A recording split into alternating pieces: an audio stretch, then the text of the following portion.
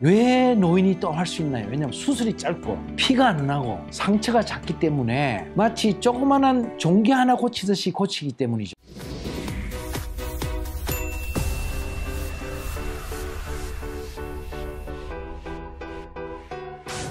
수술하기에 내 나이가 어때서 나이가 많아도 척추를 고쳐서 다시 잘 걸을 수 있고 뛰고 설 수 있을까요? 그렇습니다. 나이가 많아서 이제 진통제나 먹고 그냥 사시지요. 수술하면 위험합니다. 이게 전 세계 척추의사가 72세 이상 된 분들한테 한 말입니다. 정말로 내 가족, 내 할머니가 병원에 가서 아, 너무 허리가 아프고 다리가 아파서 좀 고쳐주세요 이러면 의사가 뭐라고 그럽니까? 나이가 연세가 너무 많아서 위험합니다. 안 아프게 해드릴 테니 진통제 잡수시고 그냥 좀 누워 계시고 많이 아프면 앉아 계시고 그래 쉬면 되지요. 뭘라고 수술하십니까? 위험합니다. 이렇게 말하지요. 그런데 이것을 제가 혁신을 시켰습니다. 나이가 89세 된 할머니가 있었습니다. 내 수제자 중에 한 사람인 이세민 선생이 수술을 했는데 지금 잘 걸어 다니세요. 매일 잘 걸어 다니세요. 짐에도 나갑니다. 피트니스 센터에 나간다는 거죠. 89세가. 만약에 이분이 그냥 누워 계시고 서서 걸을 때 지팡이를 짚어야 되는 이런 상태로 계속 살았다면 아마 1년,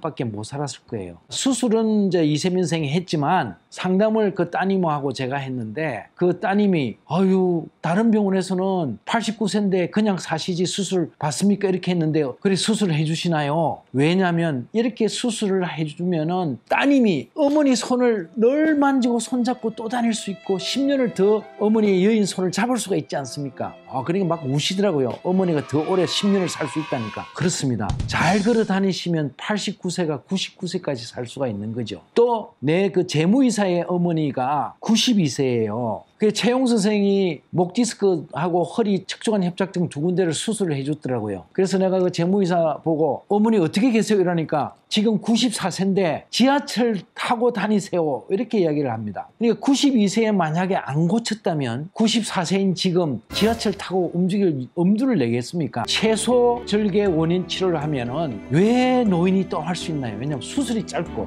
피가 안 나고 상처가 작기 때문에 마치 조그만한 종기 하나 고치 고치듯이 고치기 때문이죠. 물론 기술은 어렵지만 그렇게 빠른 시간 내에 한 시간 내에 고치고 수혈을 안 해도 되고 그래서 심장이 나빠도 되고 당뇨 병이 있어도 되고 심장 이식한 분도 되고 콩팥을 이식한 분도 되는 수술이에요. 아산병원에서 심장을 이식한 분이 오셨어요. 물론 아산병원에서는 심장 이식했기 때문에 이제 하반신이 마비가 됐지만 수술 불가능이라고 말씀했대요. 왜냐하면 심장 이식하면은 면역 억제제를 쓰잖아요. 면역 억제제를 쓰는데 수술을 하면 어떻게 됩니까? 고름이 줄줄 나오는 척추 수술 후에 감염이 되는 거죠. 그래서 생명 위험한데 마비가 있어도 그냥 살아라. 이렇게 말을 했는데 그분이 내 이렇게 얘기하더라고. 내가 마비돼가 가지고 살아있어들 못합니까? 이러면서 나는 걷고 싶습니다. 그래서 채소절개 원인 치료를 하시면 다시 걸을 수 있습니다. 하시고 지금 걸어 다니십니다. 오늘은 나이가 많아도 그리고 심장 이식을 했어도 채소절개 원인 치료는 받을 수가 있다는 것을 여러분들에게 사실로서 희망으로서 수많은 증명이 있다는 것을 강조합니다. 감사합니다.